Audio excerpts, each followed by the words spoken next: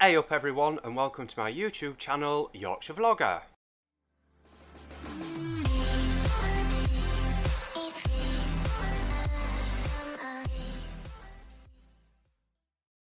In today's video we'll be looking at every actor who played Superman. Superman has been a worldwide icon since his comic debut in Action Comics number 1 back in 1938. The man has everything laser vision, super strength, power of flight, great hair, and a full time job with benefits. It's no wonder he remains a fan favourite all these decades later. As such, Superman has been reimagined for the big screen dozens of times, and his famous red boots have been filled by a wide variety of actors. In at number 9, it's Kirk Alyn, Superman 1948 to 1950. As an early pioneer of silver screen heroes, Kirk Alyn had to use what technology was available and follow instructions given to him by the directors. He did the best with what he could, and that's admirable. What Alyn struggles with are are his stiff, deliberate demeanour and forceful movements. Every single motion he makes is rigid and purposeful. Even his dialogue feels forced as the inflection in his words comes off as extremely scripted. It's almost like he was so worried about playing Superman that his performance suffered for it. That being said, he looked great in the suit and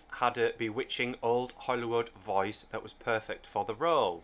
In at number 8, it's Brandon Routh, Superman Returns 2006. In terms of action sequences, Brandon Routh is spot on for his character in Superman Returns. Each scene of flying, fighting, or falling is vivid and immersive, almost dreamlike in some cases. He's imposing and certainly looks like Superman, but his attitude sets him apart from the others in a less flattering way. The issue is Routh's attempts at making the character darker and edgier these changes make sense in theory, given the film's context, but it comes off as brooding and moody most of the time. His attitude leaves a lot to be desired, but he does a few things well. When it comes to his Clark Kent disguise, Routh generally looks like a different person. In at number seven, it's Bud Collyer, The New Adventures of Superman, 1966 to 1970. Radio actor and voice star Bud Collyer first took on the famous role of the beloved superhero for a popular 1940 radio serial before later reprising the character in the 1966 animated series The New Adventures of Superman, which follows the legendary figure as he fights to protect Metropolis from wicked foes. The programme was the first time that Superman, Clark Kent, Lois Lane, and Perry White appeared in an animated form since the Fleischer Superman shorts from the 1940s and it went on to have a successful four season run. Collyer truly made the legendary character his own, delivering a distinctive vocal performance by altering his voice for the two on screen personas. In at number six, it's George Reeves' Adventures of Superman 1952 to 1958. One of the classic Supermen, George Reeves, did a lovely job capturing the suave noir side of the people's hero in Adventures of Superman. Film of this era was still adapting from the overacting needed to convey emotion on stage, and Reeves's interpretation feels wonderfully natural. He's smooth, charming, and incredibly poised, but what he's lacking is a connection with those around him. This Superman comes off more like a charming hero at a distance rather than a man of the people. He feels just a little standoffish at times with Clark Kent's more serious, business minded attitude constantly shining through. The few times he does open up a little, it's a sweet, endearing treat. In at number five, it's Dean Cain, Lois and Clark, The New Adventures of Superman, 1993 to 1997. While Lois and Clark doesn't quite hold up to the believability of Smallville, Dean Cain added a lovely sense of humour to the character in Lois and Clark The New Adventures of Superman. Out of his Superman costume, he feels a bit like a sitcom dad. His body language, speech, and wardrobe all give off a very casual vibe. Cain's take is easily the friendliest of all the Superman yet, and it's heartwarming to see the way he interacts with people in dire situations. His loving relationship with Lois makes him feel very approachable and he has some serious moments that contrast well with his more light-hearted personality.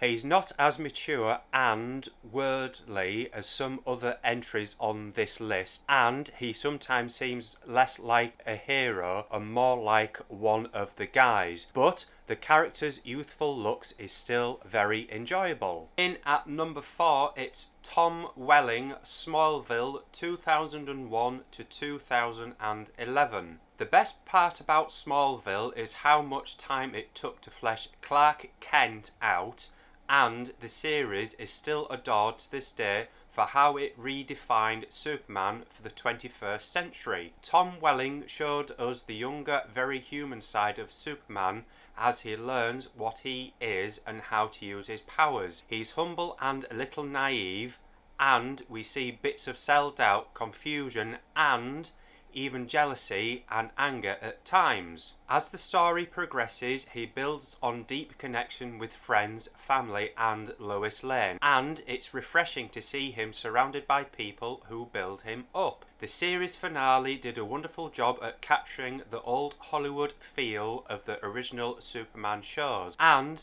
the ending is often revered as one of the most satisfying in TV history.